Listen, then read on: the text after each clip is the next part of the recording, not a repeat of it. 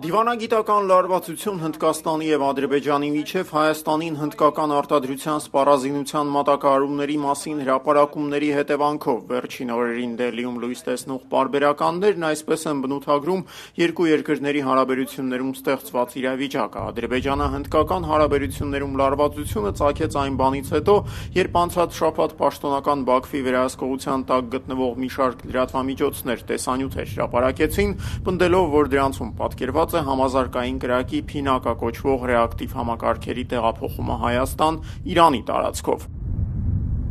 Հնդկաստանի ամենահեղինակավոր գործարար պարբերականը «Էկոնոմիկ Թայմզ»-ը խնդրին քաջածանոթ անձանցից մեկին վկայակոչելով անցած շաբաթավերջին ըստ էության հաստատել է թե՛ սպառազինության մատակարարման փաստը և թե այն հանգամանքը, որ այն Հայաստան է հասցվել Իրանի տարածքով։ Թերթի պնդմամբ՝ դա կատարվել է մեջբերում երկկողմ համաձայնագրի հիման վրա։ «Էկոնոմիկ Թայմզ»-ը նաև նշում է, որ սպառազինության մատակարարումները պատկերող տեսանյութի հրապարակումից անմիջապես հետո Բաքվում Հնդկաստանի դեսպան Սրիթ Հարան Մաթուսուդհանանը հրավիրվել է Իլհամ Ալիևի աշխատակազմ, որտեղ նրա հետ զրուցել է Ադրբեջանի նախագահի օգնական Հիկմեթ Հաջիևը։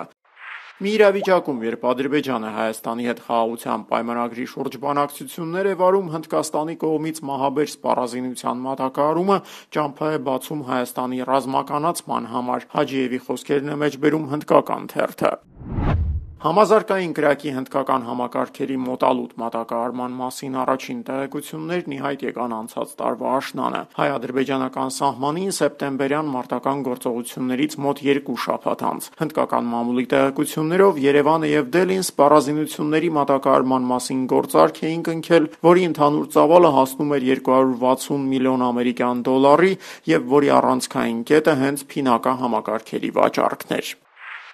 Փինակաների վաճառքը գրգռել է Ադրբեջանին։ Անցած շաբաթավերջին գրել է Դելիում գործող մեկ այլ պարբերական՝ Eurasian Times-ը, փորձելով նաև բացատրել Բաքվի մտահոգությունների պատճառը։ Հայաստանի «Փինակա» համակարգերը ձեռք բերելու որոշման վրա ազդած պատճառներից մեկը հակառակորդ Ադրբեջանի կողմից անօդաչու թռչող սարքերի, այդ թվում ինքնաոչնչացվող դրոնների կիրառումն է։ Որպեսզի համազարգային կրակի ռեակտիվ համակարգն ի վիճակի լինի նման պայմաններում մարտի դաշտում երկար գործել, այն պետք է օժտված լինի կրակելու եւ դրանից հետո արագորեն հեռանալու կարողություններով։ «Փինակա MK1» համակարգերին բնորոշ ունակություններից մեկը հենց դա է, գրում է Eurasian Times-ը։ Բաց աղբյուրներում առկա տեղեկատվությունը հնդկական կողմի այս պնդումը հաստատում է։ Ռազմական մի շարք մասնագիտացված պարբերականներ պնդում են, որ «Փինակա» համակարգերը մարտական պատրաստության են բերվում 3 րոպեում, իսկ առաջադրանքը կատարելուց հետո այն տեղակայման վայրը կարող է լքել 2 րոպեում։ Hindustan Times-ի բնորոշմամբ «Փինական» ամերիկյան HIMARS համակարգերի հնդկական համարժեքն է։ «Փինակա MK» համակարգի հեռահարությունը հասնում է 38 կիլոմետրի,